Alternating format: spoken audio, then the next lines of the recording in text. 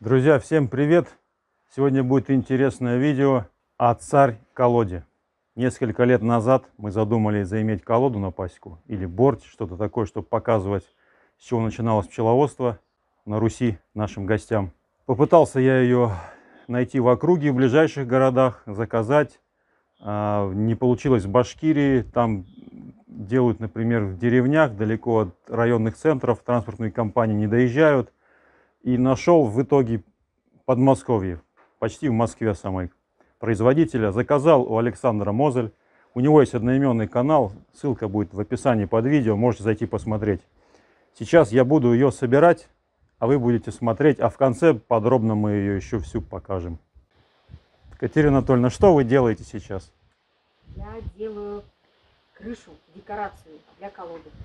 Наши телезрители уже догадались, что это крыша колоды. Я очень рада за них. Сейчас я еще покажу вот такую замечательную скамеечку. Мы еще ее не покрывали, не красили. Пасека Романовых. Вот здесь вот такая лапа. Это Александр наш друг сделал. Так. Хотели мы простенькую колоду для начала, а оказалось, получили эпическую колоду. Просто царь колоду. Она будет четырехкорпусная, как многокорпусный улей. Начну собирать. Вот здесь я приготовил основание. Ну, выровнял дерн, положил плитку, чтобы равномерно давление было. Вот такая платформа. На ней будет стоять колода. Почему такое возвышение, сейчас поймете. Значит, основание металлическое. А на таком возвышении, потому что нижний этаж имеет вот такой вот люк. То есть можно будет всегда открыть и какой-то внутриульевой мусор выбросить, там весной, например, подмор пчел. Ну и просто заглянуть, посмотреть снизу, как строят пчелы. Ну, быстро, это можно быстрее сделать. Вот такой лючок, как в танке.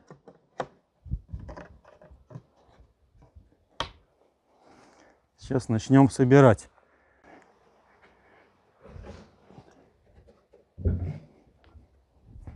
Литком я ставлю на восток, ну, нужно на юг, но...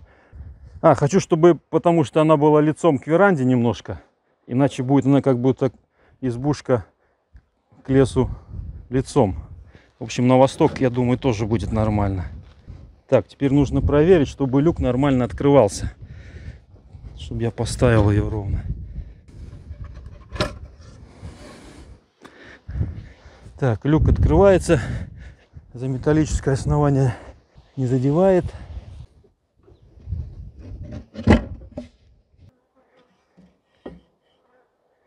По уровню отлично. Так, теперь нужно в каждом, в каждом корпусе литок есть.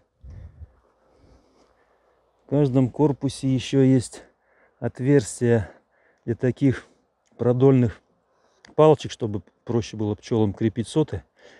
И есть такой пропил через все четыре корпуса. И нумерация корпуса. Нижний четвертый. Раз, два, три, четыре римскими цифрами.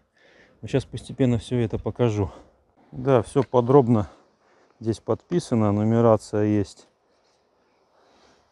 Вот номер четыре.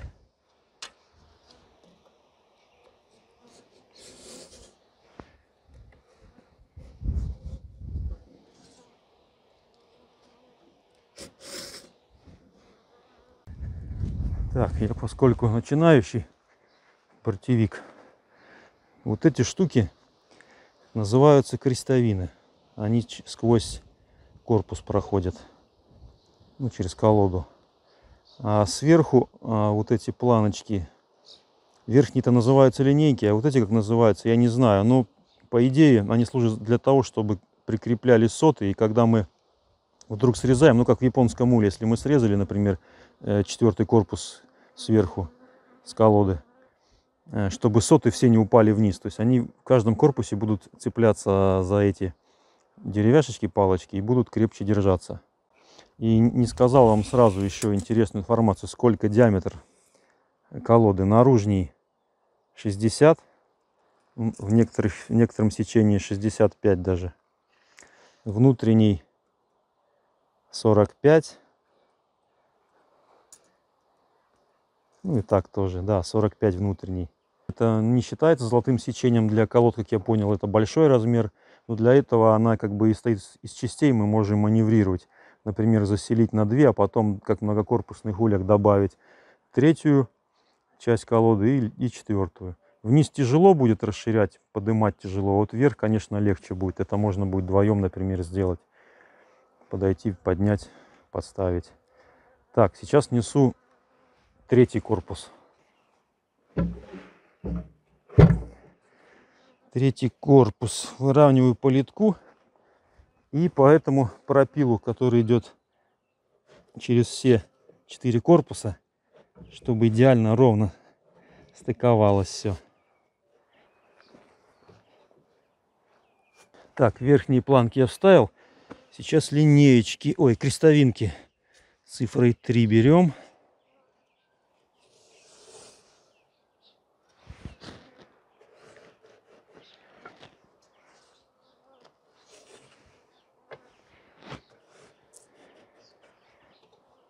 Так, посмотрите, как это уже выглядит. Вот так вот. Здесь стыкуется внутренний диаметр. А здесь почему-то это заезжает. Но я думаю, это не критично. Тут у меня все ровно. Так, пошел за вторым корпусом.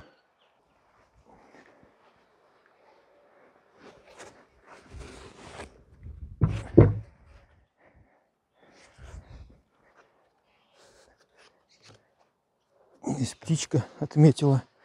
Птичка нагадила к деньгам на колоду. Так, что у нас по уровню? Ровненько. И так ровненько. Может потом, конечно, подсядет земля. Так, а сейчас покажу интересно по поводу верхнего корпуса. Там на самом деле произведение искусства. Вот Александр что сделал? Здесь вот такие линеечки ставятся сверху. Обычно, на обычной колоде среднего размера, где диаметр, э, наверное, 37 считается удобным. Там, по-моему, 5-6 линеек стоит. Здесь же встало от 0 до 10, это даже 11 получится. 3, 4, 5, 6, 7, 8, 9, 10, 11 линеек. То есть между этими деревяшками можно зажать э, листочек вощины, чтобы пчелы легче начали свою работу.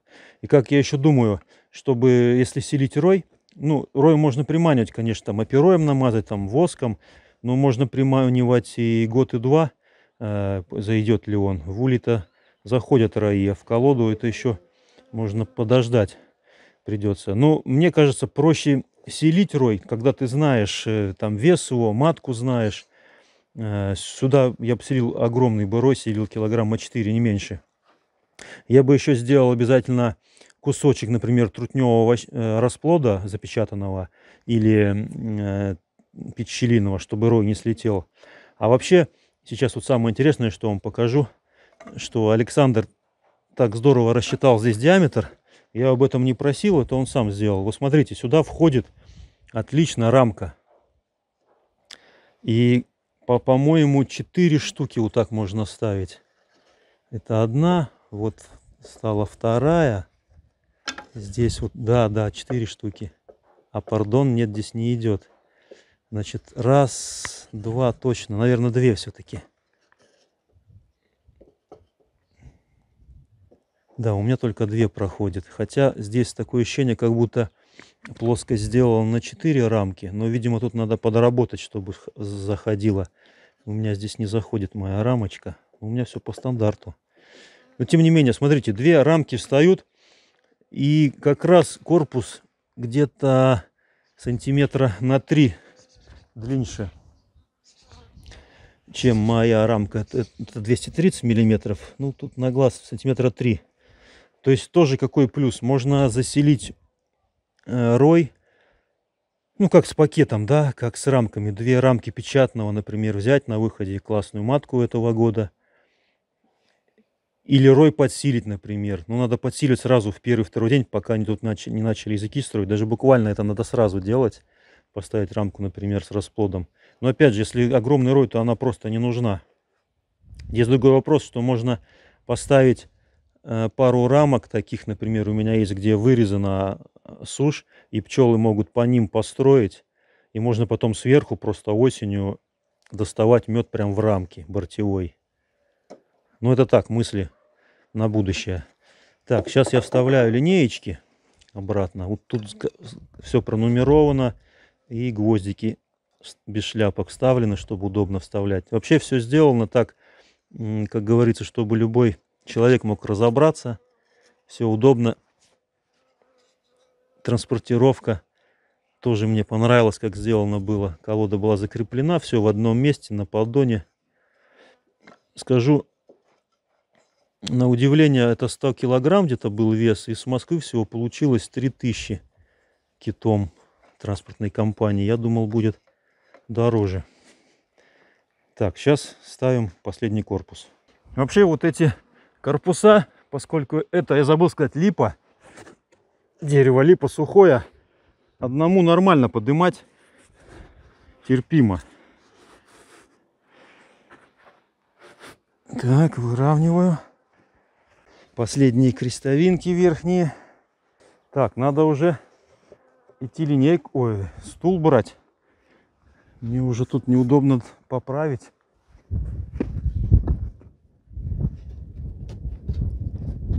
Так, ну уже вся эпичность сооружения просматривается с крышей, с мой рост, постамент такой больше двух метров.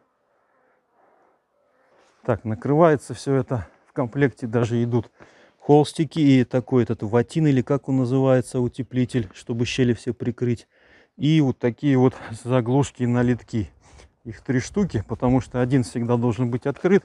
Но поскольку рой, как я понимаю, заселяется, всегда надо, чтобы был открыт верхний.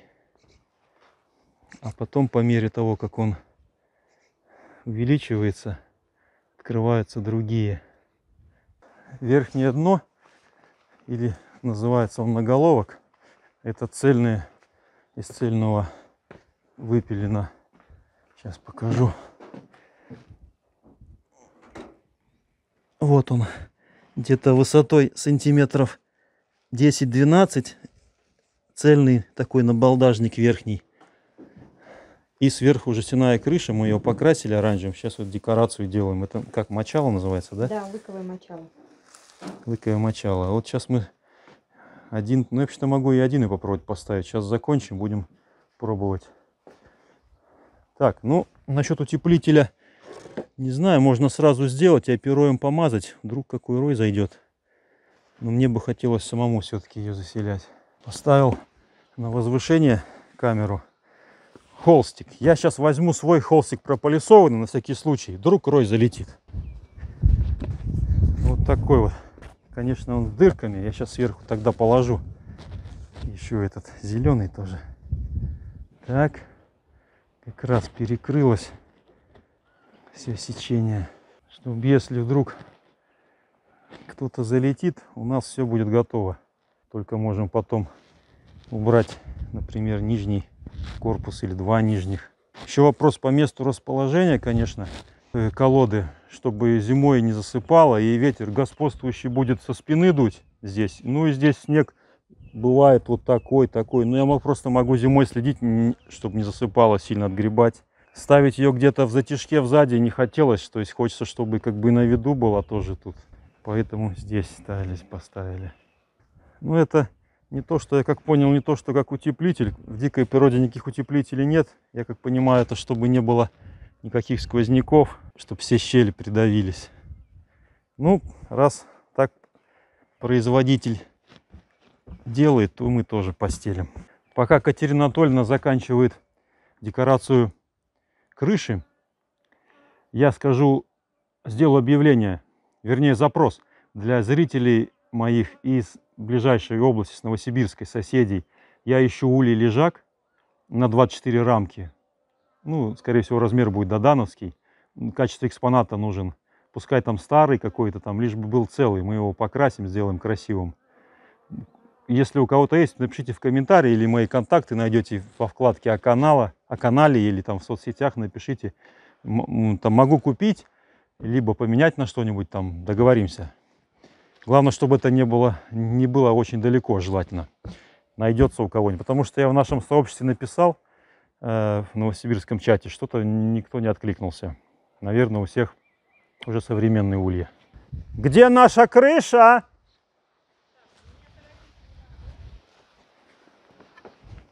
Тогда я пойду отобедаю. Вот это наголовок крыша. Крышу я жестяную открутил, чтобы одному получилось поставить.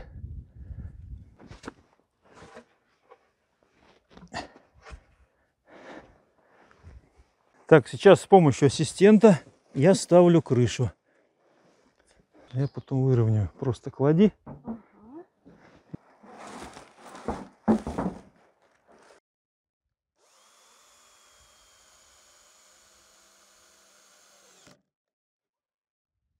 Сверху она просто эпична. Летчики будут пролетать, будут голову ломать, что это такое.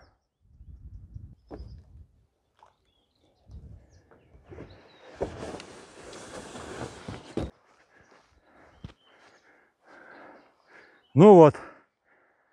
Все равно крыша не идеально ровно стала. Ну, по-моему, это не важно, да? Поскольку тут декорация кругом. Вот такая красота. Вот напишите в комментариях, заселять пчел или просто любоваться.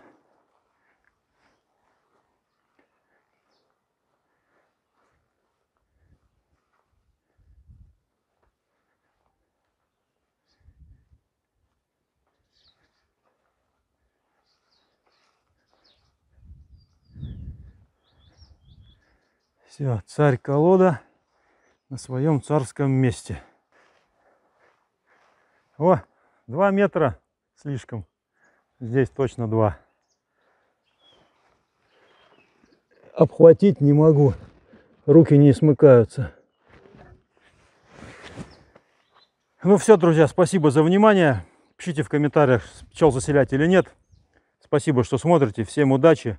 Будьте здоровы. Пока. Если нравится, ставьте лайки и поделитесь с друзьями.